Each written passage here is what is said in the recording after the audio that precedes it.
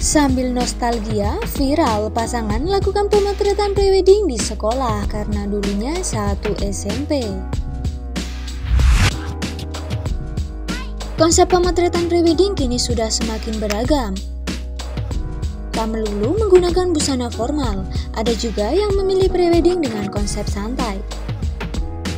Contohnya adalah momen prewedding pasangan satu ini, Keduanya ternyata merupakan lulusan dari SMP yang sama. Lewat unggahan di media sosial TikTok, akun @nina.nura membagikan momen-momen prewedding yang dijalaninya dengan pasangan. Mas, gimana kalau preweddingnya di SMP kita? Tulis wanita ini dalam videonya yang viral ditonton 4,7 juta kali. Ayo, sekalian nostalgia, balas pasangan wanita ini setuju.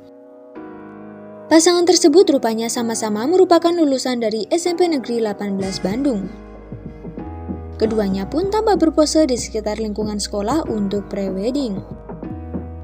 Tak hanya itu, pasangan ini juga kompak kembali menggunakan seragam saat masih SMP untuk pre-wedding tersebut.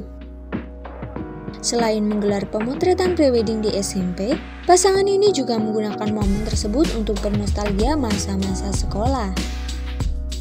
Sampai warna cat sekolah belum berubah dari kelulusan 2011 lalu, tambah akun @nina.nura. Melihat konsep pemotretan prewedding pasangan tersebut, tidak sedikit warganet yang lantas ramai berkomentar. Selain ikut terinspirasi, ada pula warganet yang membagikan pengalaman serupa karena mendapat jodoh teman SMP.